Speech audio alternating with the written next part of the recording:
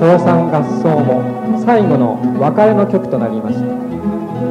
今日の演奏会を最後に我々高三はマンドリンクラブを去らなければなりません。去年までは20人以上もいた同輩が今は受験などいろいろな理由で9人に減ってしまいました。しかし思えば今までいろいろなことがありました。校庭の隅で真っ暗になるまで話し合ったこと。合宿で先輩に1時間も2時間も説教されたこと。そして後輩を1時間も2時間も説教したこと。夜中に歯磨きのチューブやマジックを片手に部屋部屋を歩き回ったこと。